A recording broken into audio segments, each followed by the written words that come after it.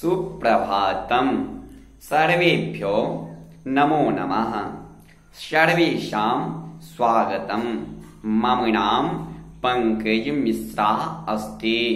सहायक अध्यापकः संस्कृत विभागः महात्मा गांधी शिक्षण संस्थानं दरभंगा। अद्य अहं भवतां समक्षे कक्षा षष्ठा। विषयः संस्कृत व्याकरणम् प्रथमोध्याय प्रकरणम्। माहेश्वर सूत्र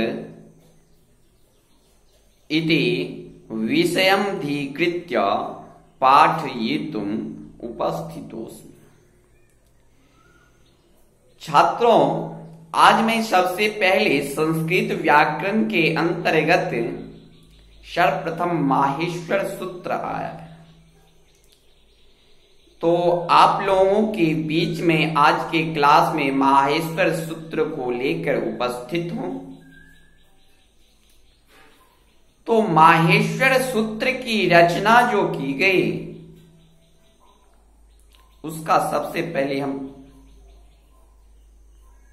उदाहरण के माध्यम से जानते हैं। महर्षि पाणिनि ने संस्कृत का व्याकरण बनाने की इच्छा से घोर तप करके भगवान महेश्वर शिव को प्रसन्न किया। प्रसन्न होकर शिव शिव ने नृत्य के साथ जो डमरू वादन किया उसी से महर्षि पाणिनि को ये चौदह सूत्र सुनाई पड़े।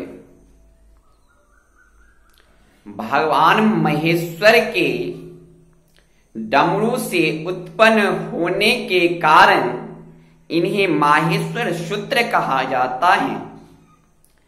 तो माहेश्वर सूत्र के अंतर्गत एक श्लोक दिया हुआ है जो नृतावशानी नटराज राजो नौनाद ढक्काम नव पंच वाराम, उद्धर तु काम शनकाति सिद्धाम, एत द्विमर्षे शिव सूत्र जालम। कहने का अर्थ है जो नटराज राज भगवान शिव ने नृत्य के अवसान में शनकादि सिद्धों के उद्धार की कामना से चौदह बार डमरू बजाया, जिसमें चौदह शिव सूत्रों का ताना बना निहित था। सर्वप्रथम अ ई उन, री लिक आदि ये चौदह सूत्र हैं, इसलिए इन्हें चतुर्दश सूत्र कहते हैं। इन्हीं सूत्रों से प्रत्य, प्रत्याहार बनाए जाते हैं। अतः इन्हें प्रत्याहार सूत्र भी कहते हैं। भगवान शिव के डमरू से निकल निकलकर पाणिनि को प्राप्त हुए हैं। अतः इन्हें शिव सूत्र या माहेश्वर सूत्र भी कहते हैं। इस सूत्रों में संस्कृत वर्ण मालाएँ हैं। अतः इन्हें वर्ण सामान्यान सूत्र भी कहते हैं।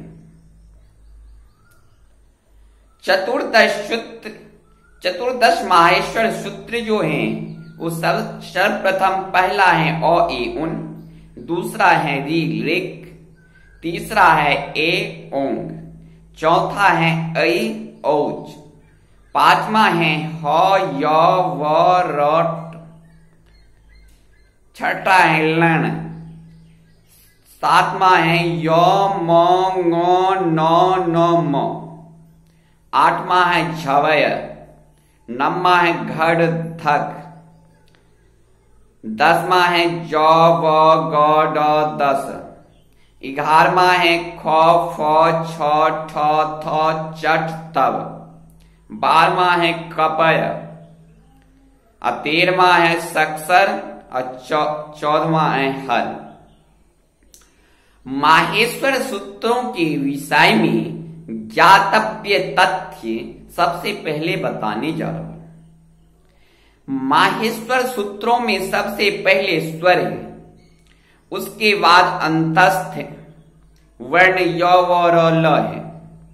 उसके बाद वर्गों के पंचम वर्ण, फिर चतुर्थ वर्ण तदंतर तृतीय वर्ण, फिर द्वितीय वर्ण, तब प्रथम वर्ण सबसे अंत में श श, स, ह, ये चार उष्म वर्ण गिने गए हैं। ये चतुर्दश सूत्रों के अंत में जो नौ, क, र च आदि व्यंजन वर्ण हलंत हैं। उनका नाम इत है। एसाम अन, एशाम अंत्या इत। इन इत संज्ञक वर्णों का लोप हो जाता है। कुल चौदह इत संज्ञक वर्ण होते हैं। लन सूत्र का आकार भी इत संज्ञक होने पर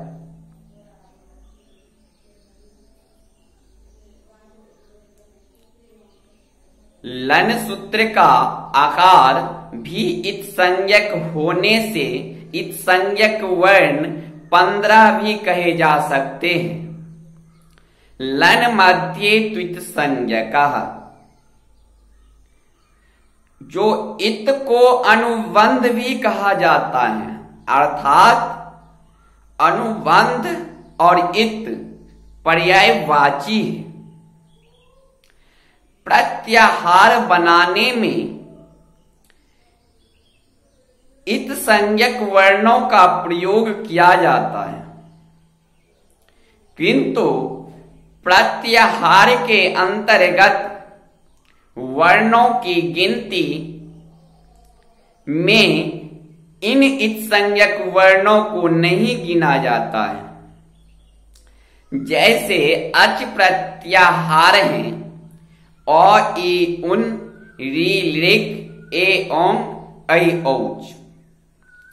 इन चार सूत्रों से बना है, यहाँ अ ई उन के अ से लेकर और औच के औत च के बीच आने वाले सभी वर्ण अच प्रत्याहार में गिने जाएँगे।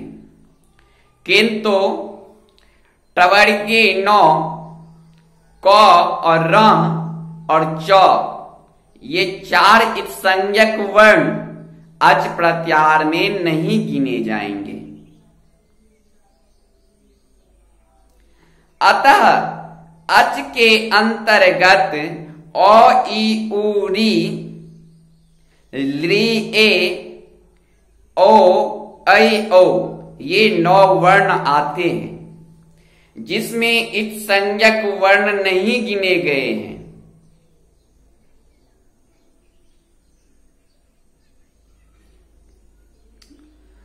अब माहेश्वर सूत्रों के पाँचवें सूत्र हय वरट में ह वर्ण गिना गया है। तथा चौदहवें सूत्र हल में भी ह वर्ण गिना गया है। अतः हकार की दो बार गणना की गई है।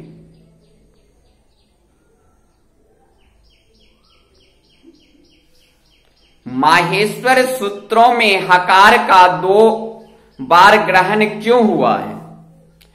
तो अच और सल प्रतिहार में ह वर्ण को शामिल करने के लिए तथा तथा अरहीन और अधुक्षत आदि प्रयोगों की सिद्धि के लिए माहेश्वर सूत्रों में नौ संज्ञक वर्ण दो बार आया है। एक बार और ई उनमें और दूसरी बार लन में।